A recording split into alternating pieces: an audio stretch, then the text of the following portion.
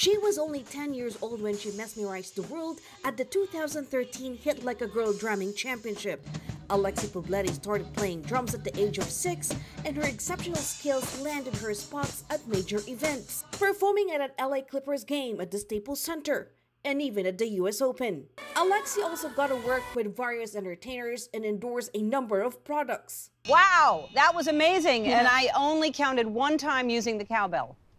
That you yes. used it once in the entire thing. That was really, really amazing. In 2015, she was the main cast in the Girl Empowerment campaign by Ellen DeGeneres. Fast forward to 2020, and Alexey, all grown up, has managed to launch her debut album, Co-Workers, amid the pandemic.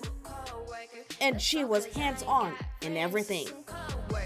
So I am an Enrage recording artist as a songwriter, rapper, and drummer. I filmed, edited, and directed the official music video along with the performance video where I rap and play drums at the same time.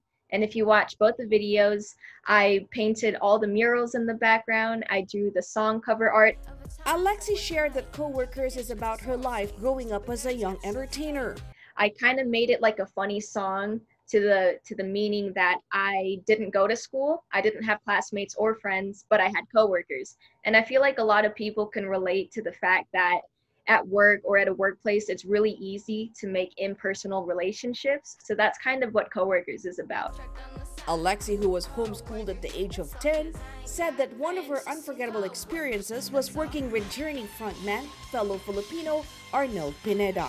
It's definitely a, an honor that I have been given such opportunities to perform with legends and to be able to experience all these at such a young age. So I'm forever grateful. I'm very grateful for the fact that I have um, those capabilities in terms of music and art and you know uh, performing but i'm also really grateful for the fact that i receive a lot of support and a lot of love because you know i get to do what i love to do Bev Lorente, ABS-CBN News, Las Vegas.